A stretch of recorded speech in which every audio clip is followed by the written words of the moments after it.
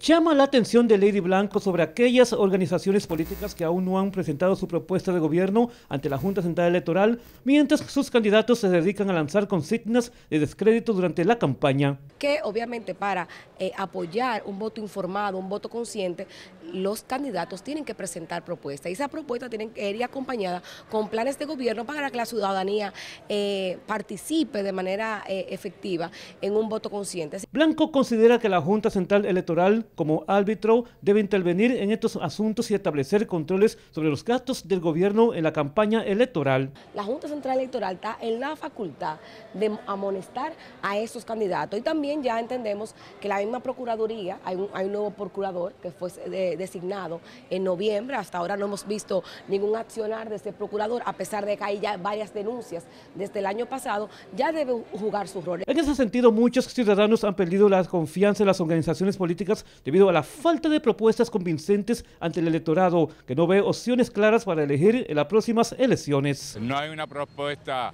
fuerte y de creencia real, porque no la hay. No vamos a improvisar en cosas que no existen.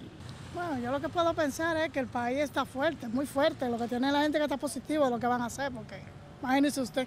¿Qué propuesta eh, Bueno, que todo salga bien, claro, que todo salga bien. ¿Pero no cree ninguno? Bueno, yo en realidad creo en Dios pero yo en política yo no creo, porque es que ya no saben ni en qué ni en qué va a creer. En los últimos días, con la apertura del proselitismo político, se ha observado un aumento en el tono de ataques entre el oficialismo y la oposición, quienes buscan ganar adeptos entre el electorado nacional. Para Telenoticias, Roberto Brito.